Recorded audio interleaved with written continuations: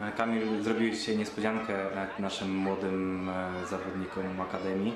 Powiedz, e, jakie towarzyszyły uczucia, jakbyś to ty w ich wieku miał możliwość spotkania takiej swojej gwiazdy dzieciństwa piłki nożnej reprezentanta kraju?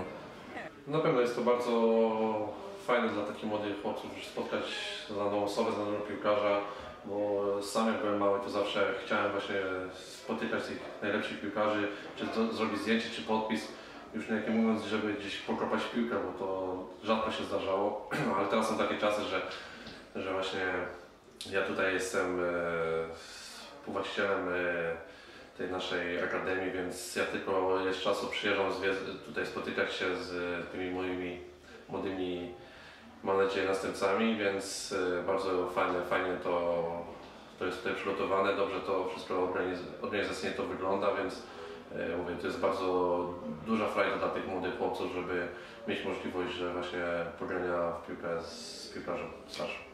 W ogóle chyba w tamtych czasach to był e, problem, żeby gdziekolwiek w Akademii pograć, bo rozmawiałem tutaj z Adamem Frączakiem e, na łamach naszej e, telewizji Futbol Areny.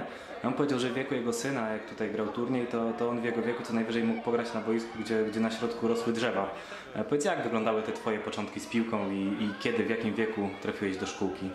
No na pewno początki były takie, że gdzie, gdzie chodziło się do szkoły, tam gdzie się mieszkało, to tam się właśnie spędzało ten, ten czas z piłką, więc ja pamiętam, że grałem na boiskach piaszczystych, a nawet betonowych czasami, bo zazwyczaj na piaszczystych grali starsi koledzy, a my młodzi musieliśmy grać na betonie, więc nieraz e, nogi były całe zdarte we krwi, ale właśnie to są, bardzo miło wspominam tamte czasy, tak, wiemy jak dzisiaj e, właśnie to wszystko poszło do przodu, te akademie, te szkółki, E, No nasza Akademia Futbolowa naprawdę rozwija się na bardzo wysokim poziomie i, i, i po cichu już jest naprawdę znana w całej Polsce.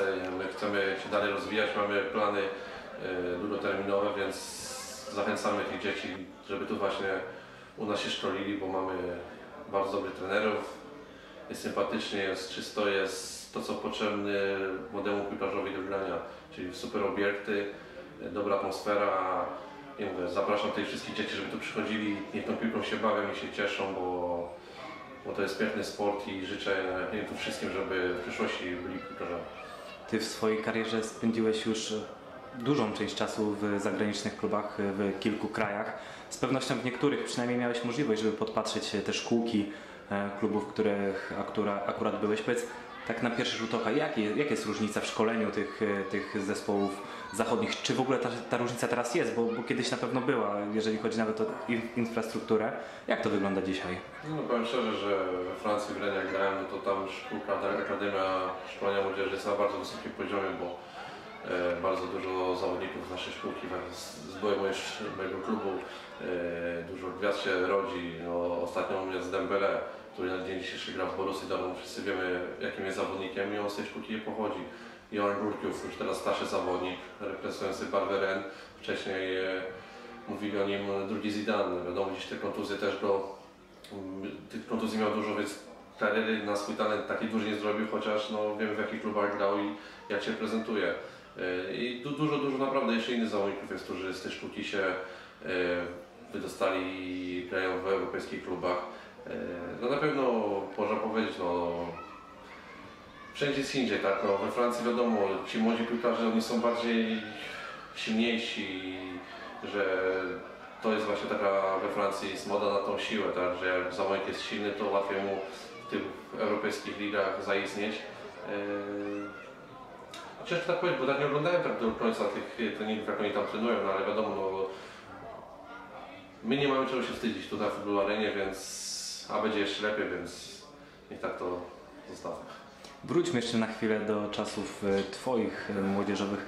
Ile miałeś momentów zwątpienia w tej drodze do, do wielkiej piłki? Chodzi mi o te lata takiej najmłodszej, tej edukacji, żeby tutaj przekazać tym chłopcom, którym może dzisiaj nie będzie szło, może na treningu e, kolega będzie lepszy, ale pewnie jutro się okaże, Nie, że to on szczerze, że teraz jest starszy, jestem mądrzejszy i mogę powiedzieć, że trzeba i szkołę i piłkę traktować porówno. W tamtych czasach ja wybrałem piłkę, każdy czas spędzałem z piłką, ale wiem, że można to i to pogodzić, więc były momenty, wiadomo, gdzieś jak był chłopak młody, gdzieś nawet gdzieś coś nie szło, frustrowałem się, chciałem, nie wiem, szybciej trafić do pierwszego zespołu niż to miało miejsce dopiero później. To takie zwątpienia są, ale zawsze wierzyłem w swoje umiejętności i dlatego jestem dzisiaj, gdzie jestem i jeszcze ostatniego słowa nie powiedziałem, więc wszystkich tych młodych chłopców, którzy tutaj do nas uczęszczają i do tych, którzy chcą tutaj do tej szkółki chodzić, to właśnie zachęcam im do uprawiania sportu. Piłka nożna to jest świetny sport, wszyscy wiemy. E, W naszym kraju teraz piłka nożna też jest bardzo popularna, więc mówię, życzę im wszystkim, żeby kochali tą piłkę, dobrze się uczyli i im wszystkim życzę. To jeszcze tylko na koniec e, takie ostatnie pytanie, może, może prośba o radę, bo e, czytałem jakiś czas temu e, biografię Zlatana Ibrahimowicza, który przyznał się, że za czasów, e, kiedy był dzieckiem, e, robił na przekór wszystkim, bo, bo, bo był indywidualistą, ćwiczył sztuczki i dzięki temu e, gra tak jak gra, zdobył to co zdobył. Jakbyście tak czysto piłkarsko miał, miał, miał kilka, W tym wieku to samo że żeby ci chłopcy właśnie jak najwięcej piłką kiwali się, robili sztuczki, bo to tylko zaprezentuje w przyszłości. Wiadomo, że to jest gra, to jest piłka nożna, to jest gra zespołowa, ale wszystko przychodzi z czasem, tak? No wiadomo, że yy, nie można być samolubem, ale w takim wieku, jak ci dzieci są niektórzy, te roczniki, które u nas, u nas mamy, to mówię, zachęcamy jak najwięcej właśnie kiwać się, nie chokiwać trzech, ale do pustej bramki nie poda koledze i taki zawodnik myślę najbardziej ceni. Ustawiamy się bramkę, szybciutko, wszyscy do bramy.